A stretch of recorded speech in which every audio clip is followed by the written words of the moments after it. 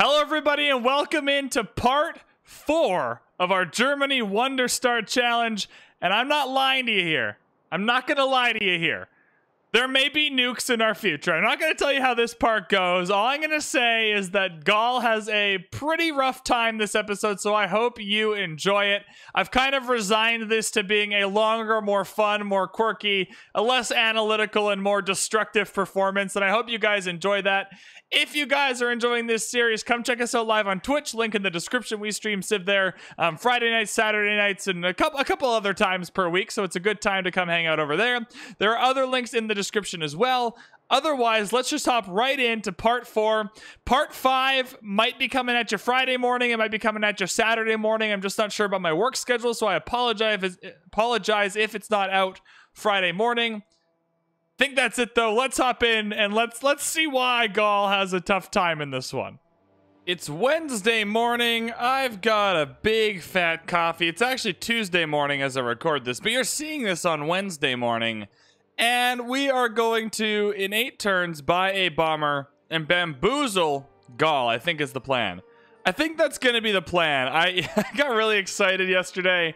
I know we're meant to be going for a science win. We'll still do that on the side. But let's let's have some fun killing some people. I think that'll be a good time. It's actually wild to me that we are at broadcast centers and have less than 100 culture. This is a this is a mismatch in where we're at compared to where we could be, but that's all right. We're doing fine. We're we're we're ramping up. I'm going to grab Wukong. That way, when we do go to war down here, Wukong can run around, give us vision for our planes to attack, but also pillage some tiles along the way with having a low possibility of getting killed because he can't be seen unless he's uh, adjacent to another unit. So I think we'll be able to move Wukong in here to help us use our bombers to get through, and it should be fun. Oh my god! Oh my god, yes, yes, yes, yes, yes, yes, yes, yes, yes! He's gonna declare war on us! Oh, yay, yay, yay, yay, yay, yay, yay. Oh, this is so good. Oh, I'm happy now. All right. Phone, shut up. Phone, be quiet. What do you need? This is so good. If you're in these types of games and you have cities and you're not quite sure what to build for a couple of turns, feel free to always uh, go in and build campus research grants or what, whatever you need for whatever victory type you're going for. Getting that little bit of extra science per turn is great, but also getting the great scientist points is awesome as well. It really lets you kind of take control of the game, especially if you're not too far behind everyone else. It'll keep us in the hunt while we try and figure out a way to kill Gaul here, which is perfect. This Magus is pretty cool here, this ability. I've never gone Hermetic Order down this far. At least I can't remember the last time I did. So being able to get yields on leyline tiles per great person we earn is actually pretty cool. So that should be fun. Also, it makes some of our leyline tiles up here. Yeah, here it is. Very, very cool. Right? This becomes a great tile. It definitely makes you want to settle this city up here. So I might have to grab another settler because these tiles are getting ridiculous now. I'm going to make a trade with Japan here. I think we should be able to squeeze it in. Yeah, we can. Just to make sure I have enough gold on hand to buy a bomber in two turns. I want to be able to buy one right away in this aerodrome. Also, it should give us enough gold to upgrade some of our units we have. I'm not too worried about it, though. I'm just going to wait for planes. I'll build units in the cities that can build units right now. Oh, that is not what I meant to do. That is not what I meant to do. All right, well, that warrior is dead. I I did not mean to click that. Anyways, um, we shall be maneuvering around here, waiting for bombers, and having some fun killing some units. So yeah.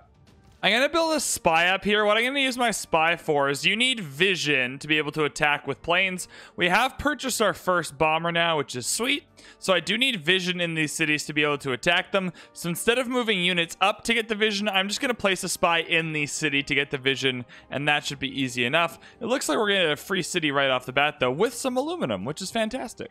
On the science tree, I'm just going to fill in some of the units we've been missing here. Some ranged units, cavalry, some of these upgrades that we probably need too. You can see they did a good number on Triad just because their units were powerful. We're going to be fine. I sacrificed a few units for the cause just to make sure the city didn't go down. Um, but not being able to upgrade to field cannons or muskets feels pretty bad. But what I am able to do now is combine these all into um, corps units, which is what I will do shortly. So I'm going to start the attack with the bombers now. I am building a few more just in the cities that have aerodromes. I'd love to buy some more too if I could, but these do so much damage. So you can see that I can only attack tiles that I have vision of. There's nothing to attack on these tiles, so I can't attack them. But I can't attack this city center because I can't actually see it.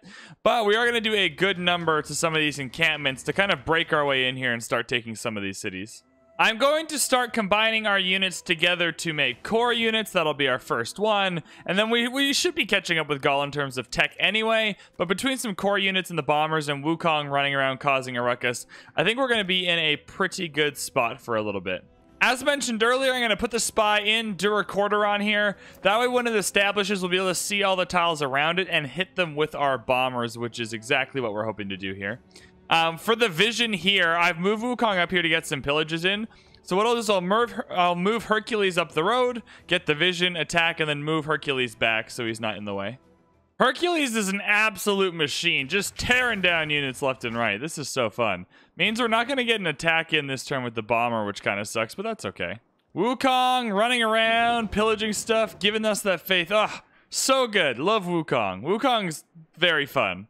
I'm gonna re-up with the uh, the alliances with the people that I was allied with. What's really cool about this is because Gaul declared war on me, they're not super pissed off at me yet, which is great. If I declared war on Gaul, they would have been much more angry. So just sneaking in here, getting these alliances that we had before is very, very helpful, just to make sure people can't dip out in the middle of this war and start attacking us as well. So this is the vision trick I was talking about earlier. You can move a unit up, get the vision, hit with the bomber here, and then we can move that same unit back so we're out of vision again and not have to worry about getting hit. And so you can manipulate vision that way to your advantage if you need to in a war situation like this. Oh, look who's come calling. Look who's come calling. 10 turns into their war. They started. Now, it's not my war. This is not my war. And look who's there trying to give us gold for peace. Get out of here. No chance, dude. Not a chance, my guy.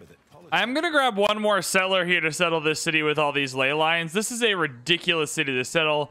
Great, um, great yields on the tiles, obviously, but also some bopping districts here. So that's our plan for this city, is just to settle one here. Uh, I'm going to move one of the districts down here for sure, maybe a campus. Bring Hercules back to build them. It's going to be very, very, very good. I'm going to grab a military engineer here. At some point, you're going to need military engineers. Railroads are fun, but to build airstrips, airstrips are going to allow us to um, move planes around without actually having to build aerodromes. So you still need aerodromes to build the planes, but you can use military engineers to just put down airstrips across the map. That way, as we take cities, we can just move all our planes over without worrying about it too much. Part of what makes Wukong amazing, so wow, Part of what makes Wukong amazing is that unless he's next to another unit, now it can be any unit, a trader, a builder, an apostle, literally any unit, but nobody in the whole Gaul Empire knows he's here right now. So he's just moving around, sneaking between people, pillaging everything in sight. And it's very, very, very helpful because it keeps them distracted a little bit while we can bomb our way over to um, Durocordoron. What's interesting, though, is because... Because um, taking this would put the unit in between a city and a encampment strike. It's actually quite hard to take this industrial zone here and get rid of it. As you can see here, we can just keep pillaging science all we want and just chill here and no one has any idea. Oh, I love Wukong so much. So much fun. We have two bombers now and you can just see how much damage they do to a city center, especially with only 69 right? So 77 will be a little harder. Ideally, you have three or four bombers, but you can just melt through um, these cities with bombers. Ideally, too, we'd have a little bit of niter that we could use to uh, get bombards with an observation balloon. But so far, so good on the war front. Things are going fantastic. So you can see now with the spy in place in Durocordoron, I can just attack the city directly. No need to beat it out the bush or anything. We can just go straight over top of everything and attack here. And I'll probably keep Wukong here kind of hiding. And that way, when we're ready, we can take the city with Wukong. Gaul! Gaul, man. You may have sniped my Cursor Core because you're a dinkhead. 60 gold for 30 is tempting, but no, we're good. We're also losing out on the amenities, so I'm hoping to find um, in some of these cities here some amenities that we don't already have. Can we take this city this turn? I didn't think we'd be able to do it this turn. I think we might be able to. That's her down to zero, baby. Bombers OP. Hey! We've done it! Hooray! All right, let's keep this city. Now we have Night or two. We can take Sam Samarobriva. Oh god. Woo, this is awesome. It's too bad we lose their unique industrial zone though and have to build our own. Otherwise, what do we pick up here? Potala Palace. Oh yeah, this is gonna be sweet. We're keeping this for sure. Cheers, Gaul. All right, we grabbed Victor a few turns ago. That was off screen, but we grabbed Victor a few turns ago just for this precise moment where we might need him to help us with loyalty, which is indeed great. We can move our spy along. I'm gonna bring this great engineer down, and they uh, the great engineer can put an airstrip here. Um, on flatland tiles. And that way we can just use our planes to snipe across here without having to build a whole aerodrome. Whenever you take a city, it's always good to just repair what needs repairing first. It's the most efficient way to kind of get the city back online, and then we'll focus on exactly what we need to do in here to, to build it up to be an awesome city for us. I grabbed the gold unit upgrade card so we can upgrade to uh, cavalry on the cheapy cheap. Same with field cannons or anything else we want to upgrade to. I also really delayed another government just because we were trying to get up the culture tree as fast as possible. So I'm just circling back for a few more card slots along the way. And then we shall continue the beatdown of Gaul. You need aerodromes to actually build planes in cities, but you can base a plane in each city just for free. So we'll base one here so we can attack Lutetia and just at least start on that. But we won't be able to attack with this one, I don't think. Yeah, it's too far away until we are um, using this military engineer to build a airstrip here. But until then, we can still keep taking this city, which will be nice and fun. They're trying to resist my aggression. Please don't murder me. Please don't murder me. Please don't murder me. This is where all these alliances come in because they can't uh they can't mess with me here. Right, so all these people that were allied with me, which is mostly everyone else, can't really mess with me there, which is great. And that means we are safe from from government um, or World Congress, things like that. So we're good here to keep on bombing and keep on taking cities in Gaul. Hooray! Poor Lutetia. It's just you start to feel bad after a minute, you know? That's fine, though. We're going to take Samarobriva, and that'll bring our second plane up here, so then they can both attack Lutetia, which is great for us. Cool stuff. So this city doesn't actually have any of these districts. I thought they might. That's a little bit awkward, though, because they could put a unit here and just kill the city again. So I'll try and keep it away from them, but I'm not sure how that's going to go. They don't have anything to repair, so we'll grab walls first. That's fine. Um, but yeah, now we can move the plane up next turn. It's going to be a, a wonderful time. I've grabbed a second military engineer. This first one is going to come up and build a airstrip wherever we need it, but this one is going to actually connect these two cities with a railroad with a railroad for the era score, and that era score should give us the era score we need to get into another golden age, which is perfect for us. Freaking Arabia trying to spy on us. How dare they? How dare they? Can I make a demand? Ask for promise. I don't have enough Diplo favor. Well, next turn I'm going to ask for a promise because that's unacceptable, Arabia. How dare you? Also, though, separate note. These tiles are so good. This is insane. This is, uh, this is ridiculous over here. Um, what are we doing here? What do we want to do here? One sec. How much is a commercial hub here? Plus nine. this might be the biggest commercial hub I've ever created. It's almost too bad that if I put the commercial hub here, then I can't get an industrial zone here adjacent to it. But like, I'd argue that the industrial zone in the capital is more important anyway. I'm putting that plus nine commercial hub down just for the record. Easily, easily the biggest commercial hub I've ever had. Man, it's getting tough in Lutetia, man. The, once you hit bombers, you can just roll over people, though. It happens every time as soon as you hit bombers. We don't even need to take their capital. Just a couple of cities with some amenities. We don't have like truffles, some decent districts, and we are set to go. So this should be two cities connected via railroad. And it is indeed, and that'll give us two era score, which is awesome. Only happens via the first two cities you connect, but it does give us enough era score that we can feel good about finding two more by the time the next era hits in five turns. Also, we're probably taking Lutetia this turn. How many more turns do we have on Hercules? We have six more turns of Hercules. That's perfect. I think this is it for Lutetia. Oh, God. Oh, God. Can't quite make it in, though. Can the cavalry? Cavalry can't quite make it out either. Too many rivers to cross. That's okay. We'll send Hercules in. He'll take it next turn. China wants 20 aluminum and one of our duplicate mercuries, and he'll give us two great works of art and six gold for 30. That is a fantastic deal. I have never taken a deal so quickly in my entire life. I don't know why. Why would you even do that? Anyways, now we've done oil. Let us see where the oil exists on the map. Double? Okay, yeah, we're definitely got to kill Gaul now. Triple in Gaul. All three we can see are in Gaul. Okay, well, we're, we're going to take over Gaul then, because oil is a good time. Oil is a great time. All right, first bomber in. I'm going to use the closer bomber.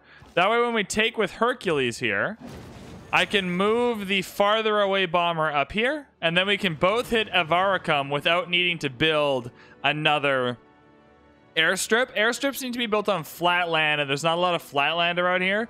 So the military engineer's here. He's hanging out, but he's not going to be able to do a ton yet until we find a flatland tile to build this airstrip on. I'm going to head to research labs here and then over to uranium. I just saying. I'm not I'm not sure why we're going for the uranium. I'm not I'm not in a particular mood for this game. I just say we haven't nuked anyone in a while. I'm just saying we have not nuked anyone in a while. So maybe we'll nuke some. I don't know. I don't know. I'm no. I don't know. I don't know. Maybe you guys will have to let me know in the comments if you want to see some nukes. Maybe I just don't know. I just have, I just don't know. There's no reason we're going for uranium. None at all. Zero. Zip. Zilch.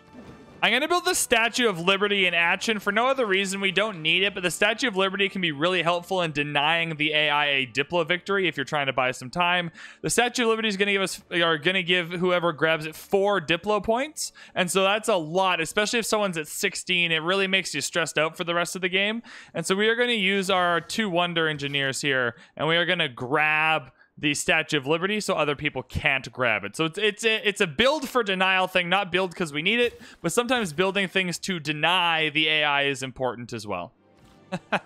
oh, we have a big whoopsie. Our, our tiles are flooding. Guys, our tiles are flooding, so we're going to head up to flood barriers quick so we can fix this stuff before it becomes permanent and unfixable. And then we'll head towards uranium for no specific reason. But our science numbers should be shooting through the roof pretty soon here as we get more amenities, as we get more campuses, and as we do all of those types of things. We should be should be doing good here. We're just gonna we're just gonna go straight for the heart in Avaricum here, grab Machu Picchu and grab all some of these other there's three wonders here, Taj Mahal. Oh my goodness. Can't believe this isn't a theater square, by the way. Two, four, six. That's ridiculous. Anyways, um, we're gonna we're gonna go straight for the heartland here and take over some more fun districts and cities. We did it! Statue of Liberty. We don't get to watch this one enough, so let's watch watch this in all its glory. Is the imprisoned lightning.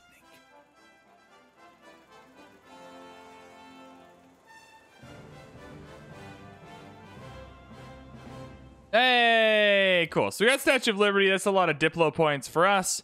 Now we have seven. Crazy. Uh, my, our guy, our dude Gaul here, he bought a tank.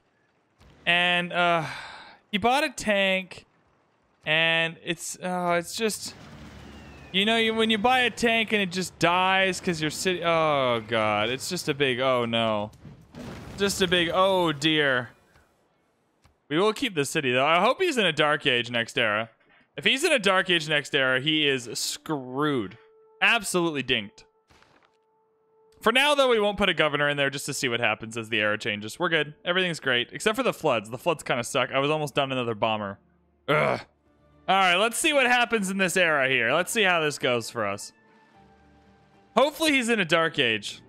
Hopefully, hopefully he's in a dark age. But he's probably not in a golden age if his cities keep getting bamboozled. We'll find out. Everyone's mad, so these guys aren't in a golden age. He is in a dark age. So are Saladin and the Maya. So we should have an easy time with the Maya too. I'm going to focus on just taking out Gaul because I think that'll be the easiest here. So he's in a dark age, which is great. Now, what do we want to pick here?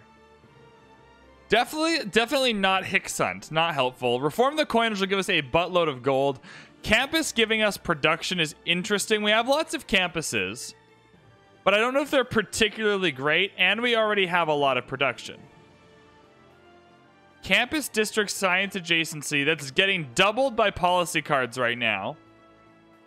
Ah. Uh, international trade routes provide plus three gold per specialty district in the foreign city. That's very nice. I'm going to go Heartbeat of Steam, though. I think the Production Awards Wonders as well is good if we need it. I'm going to go Heartbeat of Steam. Can we kick Gaul out of Hattusa? We're getting close. I want to. So that should make this a little bit easier. It does indeed a little bit easier to take. And now we can focus on probably Aduatuca at 16, and it's his capital, and that should be enough. Oh, Alesia has also got 18. Got 90 defense, so we're going to need a third bomber in here at 90 defense, I think. How much damage is one bomber going to do? Eh, not too much. I mean, it does enough, right? Two bombers per turn over like five turns, and that city's done as well. All right, interesting. Good stuff. Let's get the cultist out of here, and and Wukong can heal, and that's fine.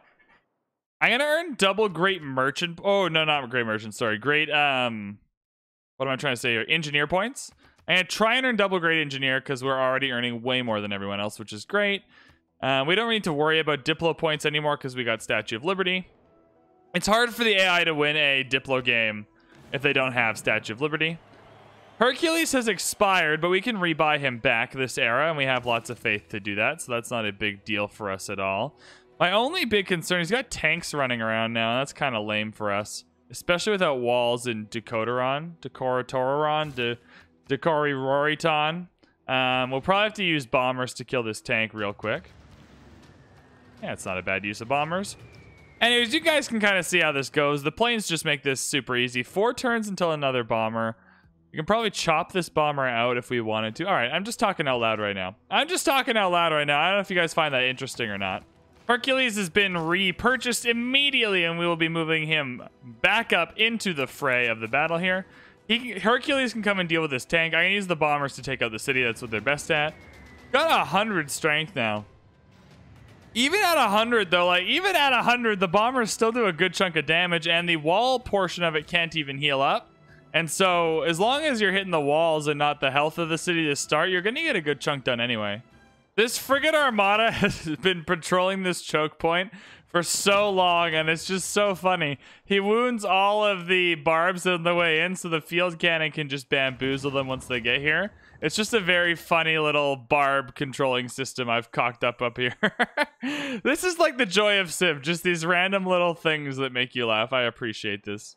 I've just given into the fact that this is going to be a very long, very fun, very destructive, very nuky game at some point. And so I'm just going to spam builders in all my cities, connect with the railroad, and bring them over to our new Gaul Empire and spruce up this little area a bit. So this will work just as hard for us as this will. And then we should be able to produce nukes at a super fast clip to destroy the world later in the game. We'll still try and win via science to be very technical about it, uh, but I think there are nukes in our future. And with that being said, I think this is a great place to end this video. I normally try to do four videos on YouTube per kind of series, but I think this one might go five or six. Either way, there's nukes in your future.